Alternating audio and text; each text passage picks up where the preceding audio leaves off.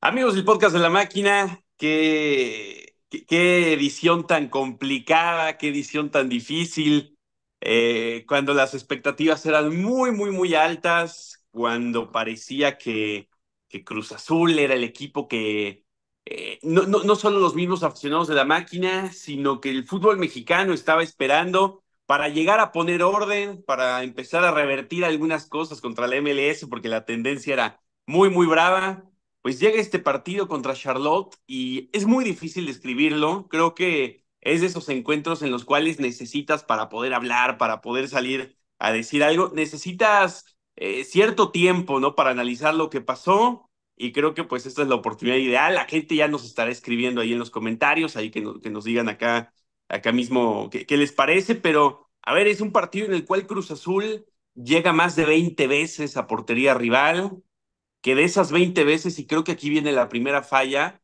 eh, solo cuatro son tiros a puerta, ¿no? Estamos hablando de que eh, ni el 25% de los intentos que tuviste fueron a puerta, ahí habrá que mejorar un poquito la calidad de la llegada, y de esos cuatro a puerta, pues ninguno terminó entrando, ¿no? Eh, estamos hablando de que se repite un poco la historia del 2023, en el cual superaste a todos tus rivales, eh, llegaste, generaste jugadas de peligro, pero simple y sencillamente no pudiste anotar. En estos momentos ya son 250 minutos de Cruz Azul sin marcar gol en League's Cup, desde el que hizo Moisés contra Atlanta. Después de ello pasaron 70 minutos, no le pudiste marcar a Charlotte y ahora tampoco le puedes marcar a Charlotte en el arranque del 2024. Así es que es un partido en el cual Cruz Azul fue superior, Cruz Azul fue mucho mejor, el primer tiempo fue extraordinario para la máquina, en el segundo ajusta muchas cosas Charlotte y me parece que ahí es donde se le empieza a complicar el partido. Y después en la tanda de penales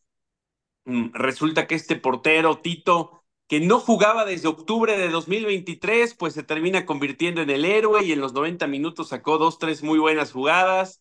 Este, ahí de esas malas suertes, ¿no? Que de repente terminas eh, encontrándote que va el portero suplente, pero bueno, resulta que sale en su mejor día, pero esto deja a Cruz Azul en una situación muy complicada, lo deja contra las cuerdas y no hay más. Tienes que ir a Filadelfia y ganar. Para poner el contexto de, cómo está la situación, si Cruz Azul gana en 90 minutos, clasifica primer lugar si Cruz Azul empate y gana en penales, clasifica en segundo lugar. Y si Cruz Azul pierde, ya sea en penales o en los 90 minutos, queda eliminado. ¿Por qué? Porque la primera, eh, el primer método para encontrar a un equipo superior al otro en caso de puntos, en caso de que empaten en cuanto a puntos, es el resultado directo, sería la forma de desempate a pesar de que Charlotte y Cruz Azul empataron, se toma el resultado de penales también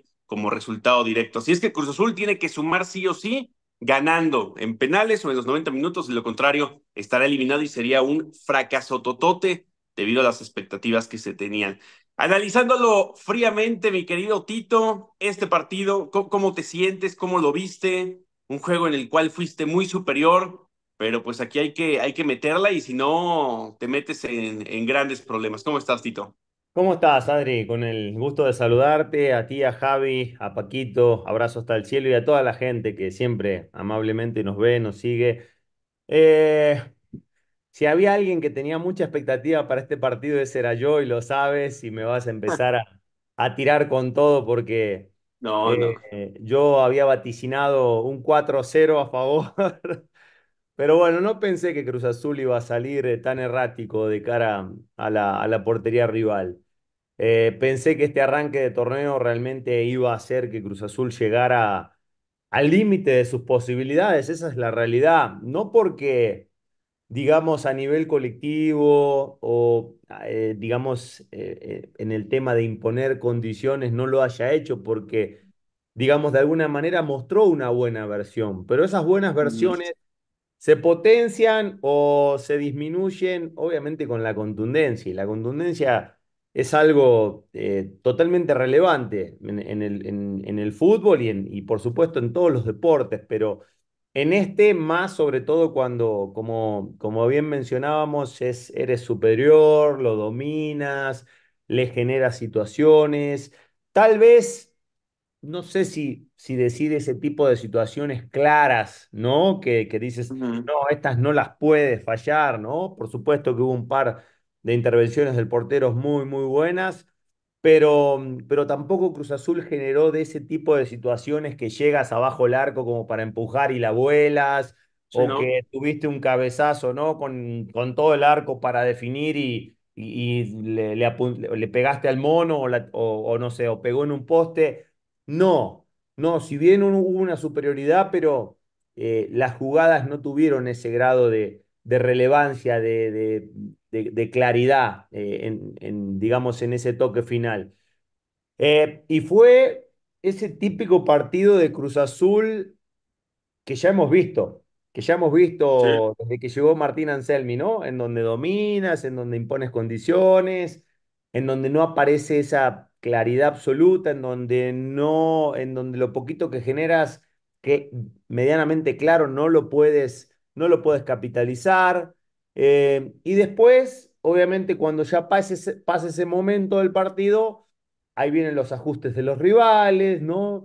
la versión en el segundo tiempo para mí vino mucho a menos, ¿sí? Ya con un Charlotte mucho mejor parado, un Cruz Azul más inoperante, un Cruz Azul que los cambios no le funcionaron en absoluto, Adrián. no, sí, no, no. Eh, eh, no, sé cómo esté la cabecita de Uriel, no, no, uno no quiere juzgarlo ni mucho menos porque eh, entiende que o no sé, salvo que tú me digas lo contrario, pero sigo entendiendo que su futuro está en el aire y que no sabe si se va a quedar o se va a ir, pero creo que no le está haciendo nada bien eh, esta incertidumbre, no sé si al jugador, a su entorno, al mismo Martín, porque al verlo a lo mejor no al 100 con ese enfoque, tampoco le tiene esa confianza que le, que le tenía eh, la temporada pasada. Em, y, es ahí donde sobre todo en este tipo de partidos, por ejemplo, se extrañó en algún momento la doble punta, ¿no? Ayer lo mencionabas en redes, no pudo contar con Sepúlveda eh, Cruz Azul por, porque estaba, pagan, estaba pagando esa fecha de, de, suspensión, ¿no? Que tuvo en la, en la Leagues Cup pasada con, con el Querétaro. Hizo Eh, mucha falta Sepúlveda ayer. Sí, sí, sí, por Mucha. eso, por eso lo menciono, porque creo que eh, en, en, en el segundo tiempo tranquilamente podría haber entrado para complementar al griego o incluso Doble punta. Como contra Toluca, sí, doble punta. exactamente, en donde me parece que ambos eh, en el ataque se vieron bastante bien, Eh, pero bueno, mm, no hay muchas cosas para rescatar en sí. A ver. Volvemos, este, este es un tema reincidente ya. La tranquilidad que me da Mier a mí. O sea, cada vez que sale Mier a cortar una jugada, cada vez que le dan la pelota a los pies, cada vez que el tipo tiene que aparecer como portero de institución grande, aparece. A mí, la verdad, tener a Mier en la portería me da una tranquilidad cuando incluso los rivales se van mano a mano. Hubo un par de jugadas que se fueron mano a mano Sí. que después terminaron siendo fuera de juego pero yo digo, tranquilo, está Mier en la portería, ¿no? Y es difícil que un portero te genere ese tipo de sensaciones. Eh, me gustó el primer tiempo de Romo, te podría decir, sobre todo cuando se sumaba a la línea de volantes, era el tipo como más claro, era el tipo que empezaba a repartir el juego. Eh, Rotondi por banda izquierda, me parece que sigue manteniendo cierto nivel, ¿no? Con remates, con centros, un tipo muy activo. A lo mejor no fue el mejor partido de Rivero ayer, a diferencia de lo que nos había mostrado en, la, eh, en el inicio del torneo. Eh, ¿Qué te ya, pareció Jorge Sánchez? ¿eh? Jorge Sánchez, ¿qué te pareció? Que me parece que fue, eh, su, su, su partido fue un poco comentado ahí en, redes, a muchos les gustó, a, muchos otros no. ¿Te gustó Jorge Sánchez ayer? Eh, buenas y malas, buenas y malas, Adrián. No, tuvo mucho, mucho trabajo hacia atrás, la verdad. No, no, no, no es que lo hayan exigido por, por su banda. Eh, intenta incorporarse. A ver, esto eh, en el inicio del torneo con Cruz Azul, creo que la frecuencia de llegada le favoreció a él porque tuvo muchas oportunidades de, de aparecer en ese último tercio. Yo considero que Jorge no, no es el tipo más claro en ese último tercio. Sí, a lo Sí. mejor te puede ofrecer más por, por la continuidad de la generación que por la claridad en la misma generación. Esa es mi percepción con él, no solo de ahora de lo que vi en Cruz Azul, sino de lo que vengo viendo de él en su carrera, ¿no? Es un tipo que va y va y va y va y seguramente se va a poner muchas veces con posibilidades de generar algo importante al frente. Después, la efectividad, la claridad, ese último toque es para mí donde tiene mucha, mucha área de mejora. Eh, y creo que ayer fue, fue un partido de, de, de estos, de estos que, digamos, en donde aparecen estas, estas condiciones. Eh, pero sí, Adri, no, no, no se rescala. A, a, a, a Giorgos lo vi, lo vi impreciso cuando se quiso conectar, las que tuvo con posibilidades de rematar. eh, sí, lo, lo vi. Sí, falto de timing a veces, ¿no? Tuvo una que quiso prender de volea y la mordió, tuvo eh, un cabezazo que si bien estaba en fuera de lugar, no le pudo dar la, la dirección deseada. Eh, son esos partidos difíciles a veces para, para el centro delantero, pero te das cuenta cuando un tipo sale fino o cuando un tipo eh, no, no lo está.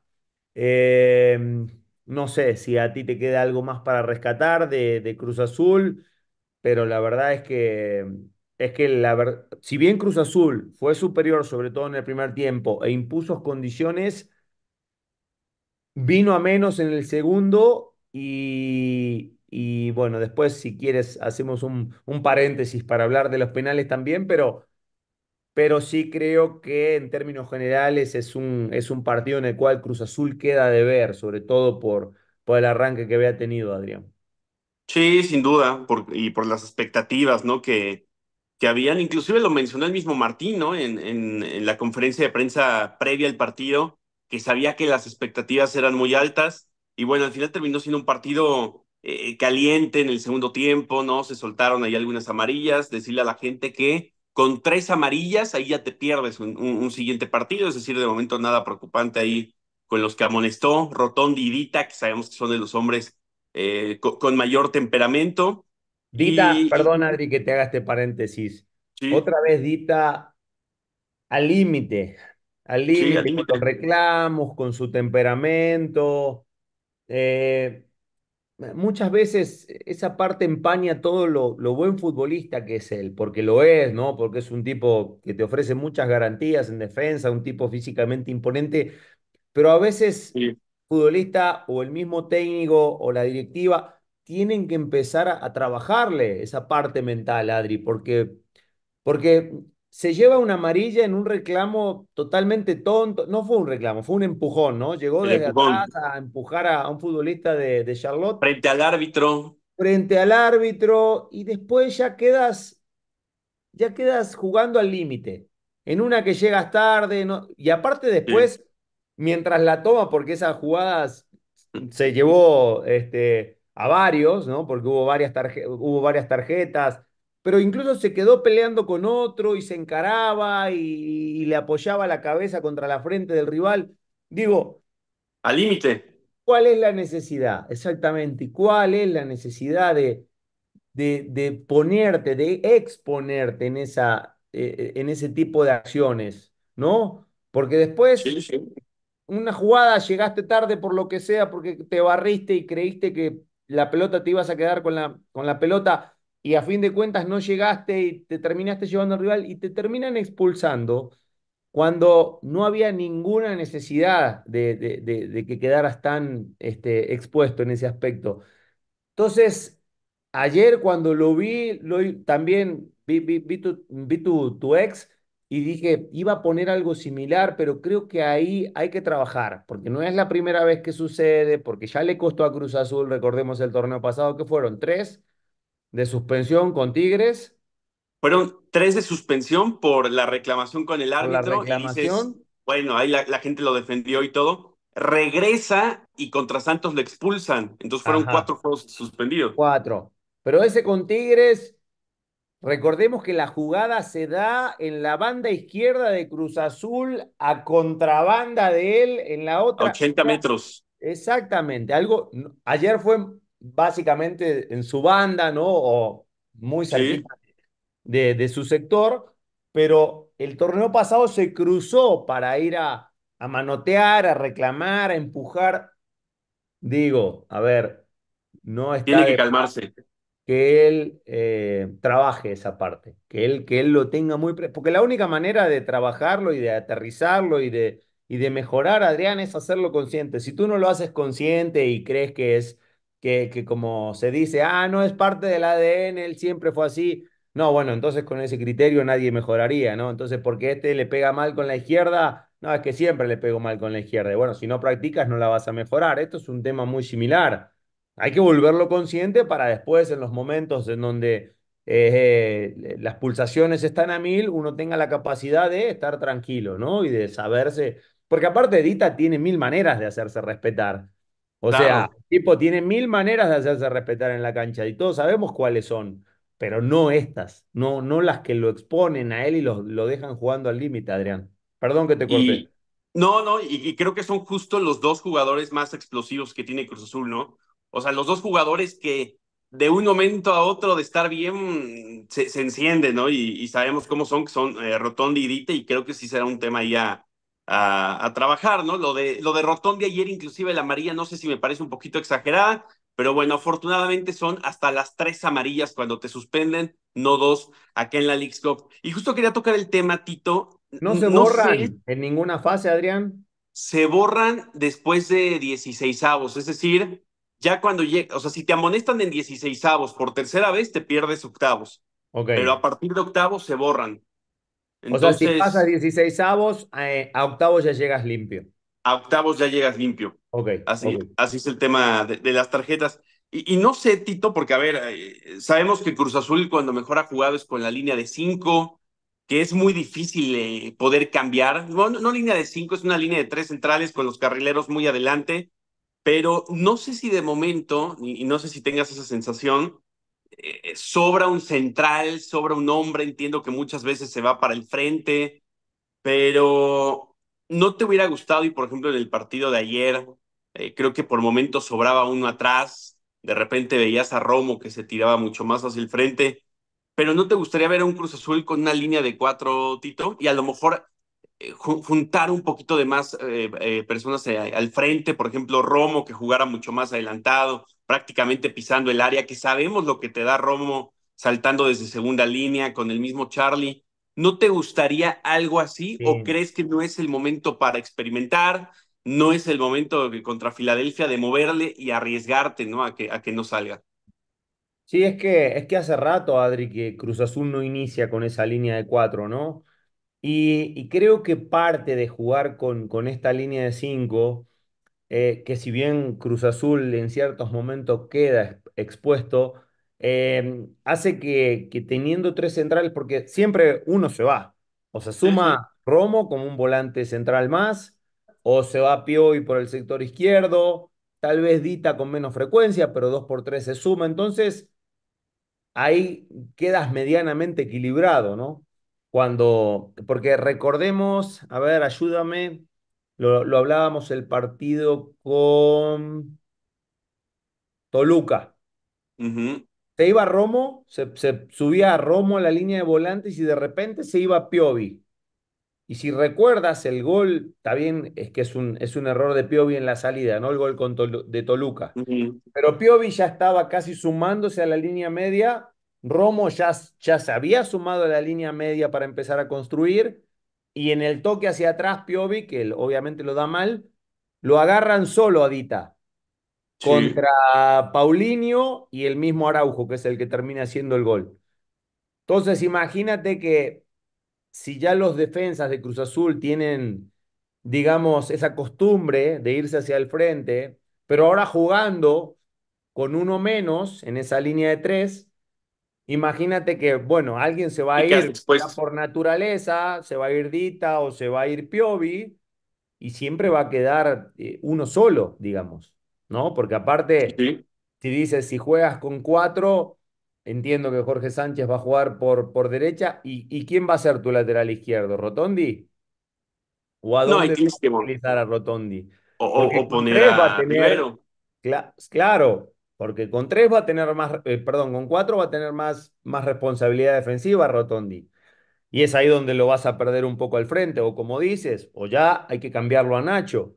Pero si lo sacas a Nacho de, de, digamos, del sector derecho de la línea de volantes, entonces ya quién? O sea, ya va a jugar Antuna.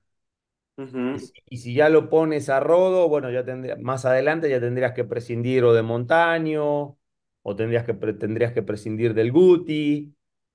Digo, a ver, lo bueno es que hay variantes, Adri. Eh, como dices, o sea, Martín Anselmi, digo, no sé si tú sepas si en algún momento ha estado trabajando con más constancia la línea de cuatro, o ya desde que básicamente ha patentado esta línea de cuatro muy flexible, ¿no? Porque es muy flexible, perdón, esta línea de cinco, muy flexible, ¿no? En donde eh, muchos elementos descomponen la misma. Eh, no sé si ya, ya él prefiera casarse con esto y, y a lo mejor ver modificaciones un poquito más hacia el frente o ajustar ya sobre el segundo tiempo o ya más sobre el- la parte final del partido. Pero ahora Pero sí, tú, tú de entrada no, no le cambiarías nada contra Filadelfia, o sea, no, saldrías no, no me atrevería, no me atrevería. igual.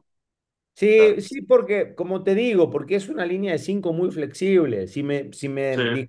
que es rígida, que nadie rompe la línea, que nadie sale, que nadie se suma, te diría, bueno, en momentos donde dominas, ¿para qué vas a querer tres elementos atrás?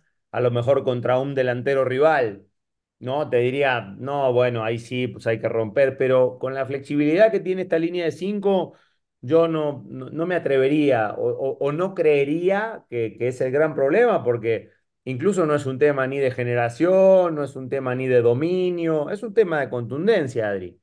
Y es ahí donde ya después podemos eh, decir, ah, bueno, en vez de cuatro volantes, mejor juguemos con tres, dejémosle la pasada a los carrileros, pongamos un punta más. Ahora sí lo vas a tener a Sepúlveda ya para el próximo partido.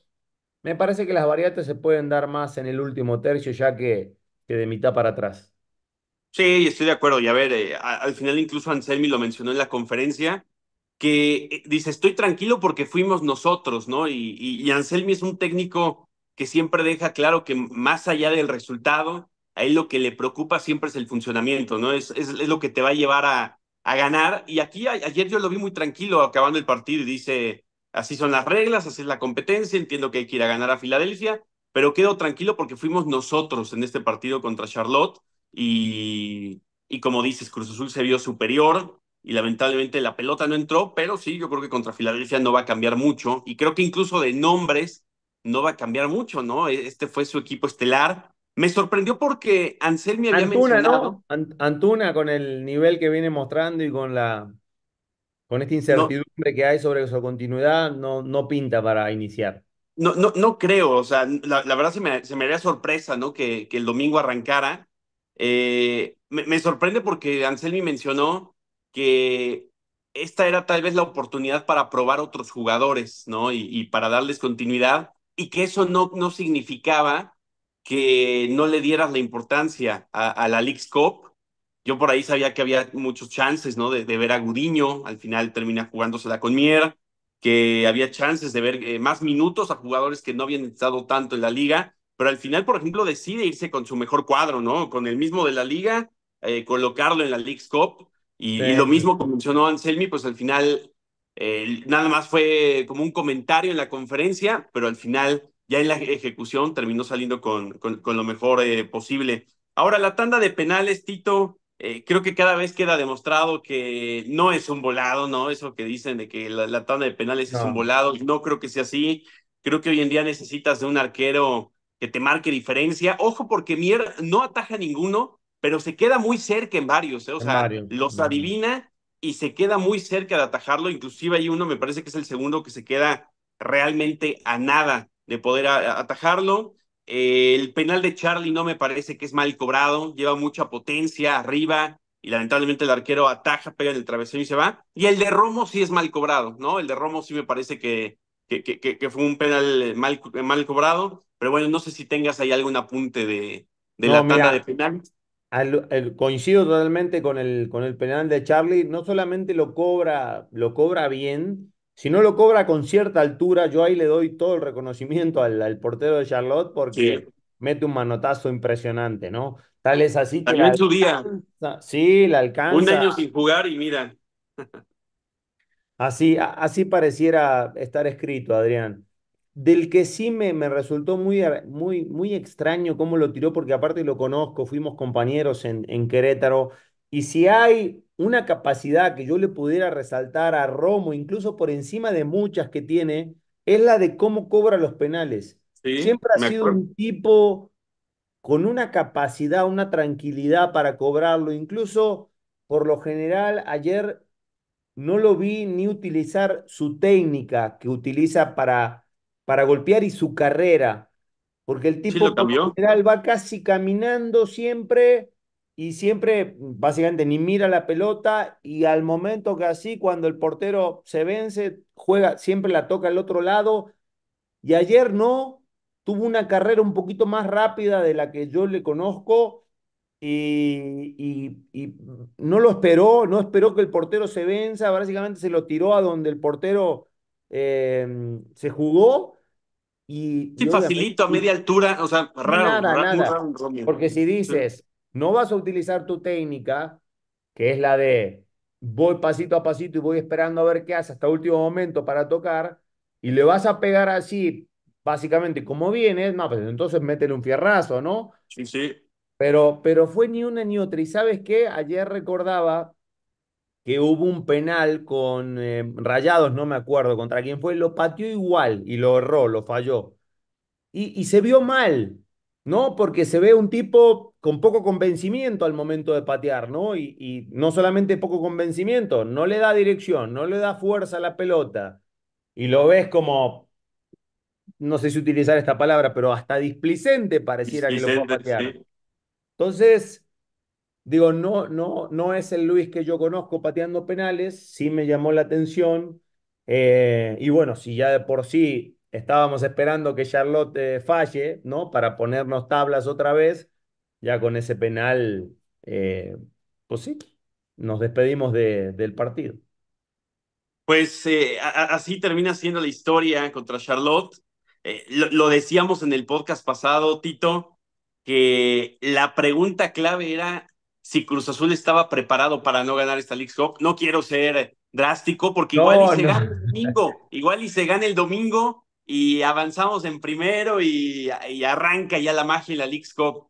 Sí. Pero creo que es un golpe duro, es un golpe muy fuerte el hecho de, de arrancar perdiendo porque además Charlotte no es de los equipos más fuertes del MLS eh, y, y, parecía un partido en el cual lo podías ganar. Es decir, era un, una fase de grupos inclusive que podías ganar los dos partidos. Ayer también lo dijo eso Anselmi, dice, nosotros veníamos a ganar los dos juegos, ¿no? Y eso no cambia nada y no cambia nada nuestra planeación contra, contra Filadelfia, pero veníamos a ganar los dos partidos. Entonces, no quiero ser fatalista, pero eh, esa era la pregunta la, la, la, edición pasada, Tito, si Cruz No, hay, Azul hay, y hay, los hay equipos menos margen de error ahorita. Ahorita hay que ganar sí o sí, o, eh, o en los 90 o, o en los penales. O sea, no hay de otra para avanzar de, de fase. mira, Yo Filadelfia ya está clasificado. Por, por ¿Eh? ahí eso no, Filadelfia ya está clasificado y por ahí eso puede haber cierta relajación ahí de Filadelfia, decir, ya ¿Pero tú estamos. crees ya- que Filadelfia no va a querer asegurar su localía, Adrián? Sí, claro, es, es, es que eso es lo importante, o sea, que Filadelfia puede asegurar localía para la siguiente ronda y por ahí jugársela en ese aspecto. Y, y, ot- y Sí, otra cosa que, que creo que tiene que ver, Tito, eh, Filadelfia tiene una semana de descanso de un partido a otro. Cruz sí, Azul va a tener nada más tres días para preparar este juego. Afortunadamente es, es cancha natural, me parece, ¿eh? el Subaru Park, a comparación de este, que, que la verdad el sintético estaba muy mal. Sí, sí, sí, las condiciones de la cancha, por supuesto que también juegan, juegan un papel importante, Adrián. Eh, hablábamos fuera de, de micrófono, Filadelfia suma tres victorias consecutivas, las últimas dos en ligas, esta del inicio de la League Cup eh, frente a Charlotte, pero anterior a estas tres victorias, ganó uno de los últimos 17 partidos, o sea, tenía 10 sin ganar, gana el anterior a esos 10 y después tuvo otros 6 sin ganar para atrás. No, O iban sea, pésimo Filadelfia. ¿eh? Iba Un pésimo equipo, Filadelfia. un equipo que, que parecía ser un cheque al portador semanas antes de empezar esta Leagues Cup y de repente, bueno, se enrachó. A ver, recordemos que la temporada pasada mm, fue de, de los mejores equipos de, de la MLS, eh, compitió en Conca Champions, de, me parece, de muy buena manera. Eh, Sí, y es un equipo que por lo general se arma bien, es competitivo, o sea, no es y bueno, aunque no sabemos, ¿no? Porque eh, a Chivas se le complicó también el partido contra San José, que es el último equipo de la, el de la. MLS, y, y, y así todo compiten.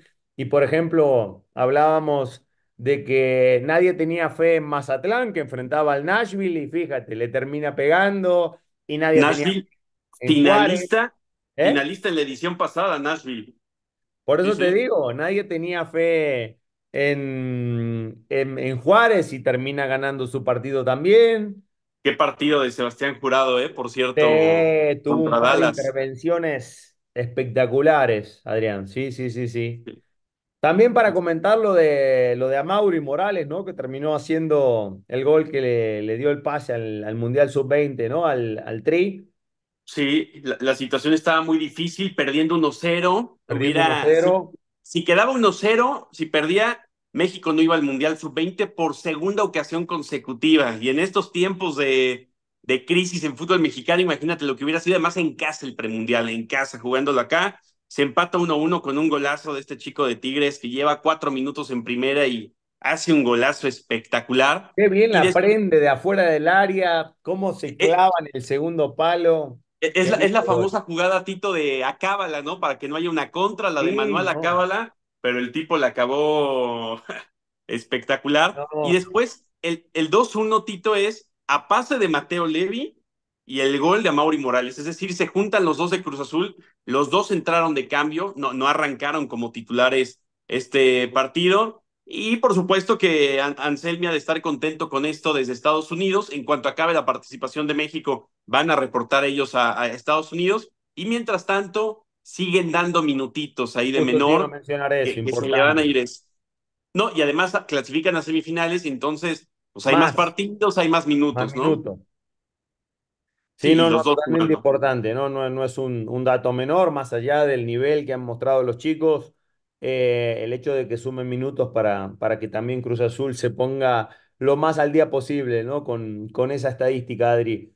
Pero bueno, eh, nos jugaremos el todo por el todo el, el día domingo, ojalá que la máquina salga contundente, ese es mi deseo, porque yo creo que de nueva cuenta va a dominar, que de nueva cuenta va a imponer condiciones, pero mi deseo es que los futbolistas salgan, digamos, muy concentrados, muy finos. Yo creo que si Cruz Azul sale así, no va, no va a tener ningún problema en, ganarlo en los 90. Pero bueno. Eh, esperemos que esta, como bien dices, que este, este duro inicio o este fallido inicio, si así lo queremos, lo queremos llamar, no, eh, no le peguen el ánimo a los futbolistas en la credibilidad de lo que vienen haciendo, eh, porque bueno, son partidos, ¿no? Son partidos en la, Claro, y aparte Cruz Azul ha tenido de estos partidos, ¿no? Y en donde muchas veces se dudaba de, de ese próximo, pareciera y esto me viene pasando desde la temporada pasada. Pareciera que cuando Cruz Azul te da señales de ser un equipo que te va a pintar la cara, de, de, digamos, de principio a fin y te va a golear, por ahí viene ese partido en donde no ratifica esa percepción. Pero cuando empieza a dejar estas dudas, y tuvimos varios partidos la temporada pasada, no sé, se me viene Santos a la cabeza, Necaxa, Necaxa.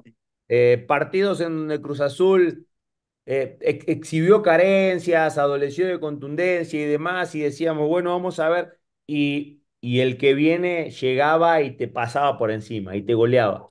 Ojalá sea de, de esos, eh, digamos, de, de esos partidos, Adrián, en donde uno espera que, que Cruz Azul mejore la versión, ¿no? Que se pueda ver este, como se, se ha visto en algún momento de, de, imponente, de contundente y, y ojalá llegue, ¿no? Ojalá llegue ese golpe sobre la mesa, ojalá incluso se supere esa expectativa que hay con respecto a lo de, al, al partido del día domingo. Pero bueno, eh, esperemos que no pase nada extraordinario, estaremos con, con, con todos ustedes el día lunes, ¿no? Para aclararle a la gente, Adrián, volveremos a grabar el podcast el día lunes, post partido.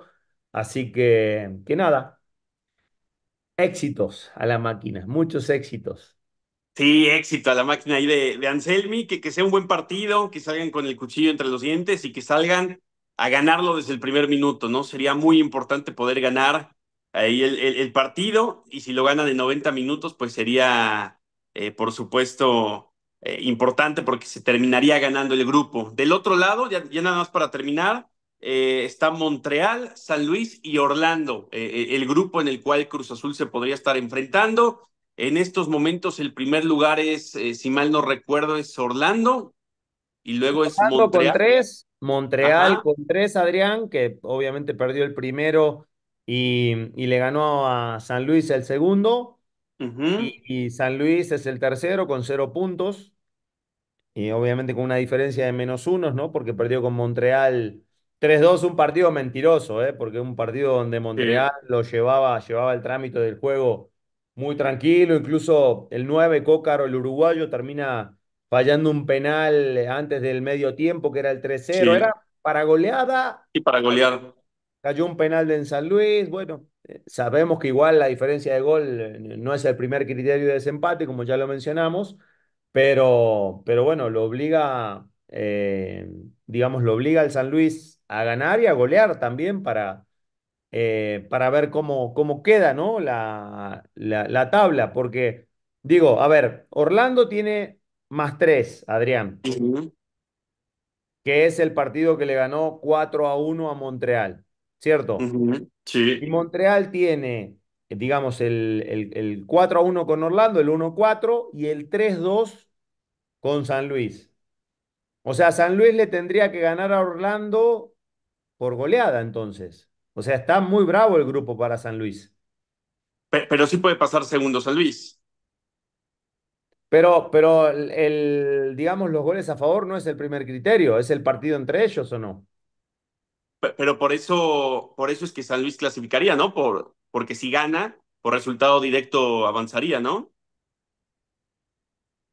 Ah, digamos, claro, por la, por la Sí, misma, sí, por la misma, por los mismos puntos, tienes razón. sí, sí. Que, que ahí, por ejemplo, si, si sí, Cruz Azul, ejemplo, dime, ajá, no, dime, si Cruz. Azul enfrentara a San Luis y Cruz Azul lo hiciera como primer lugar, el partido sería en Filadelfia, pero si Cruz Azul enfrenta a Orlando o a Montreal, el partido sería fuera de, de, de Filadelfia, es decir, tendría que ir a Montreal, que, que ya lo conoce, ya se enfrentaron ahí en, en CONCACAF en alguna ocasión, que, que recuerdo que se lesionó Jesús Corona en un calentamiento en ese partido, o si no, tendría que ir a, a Orlando, nada más para comentarle a la gente cómo está el tema de, de la siguiente ronda. Digo, primero que se gane contra Filadelfia, pero así está. Adrián, si San Luis le ganara a Orlando, clasificarían ¿Quién?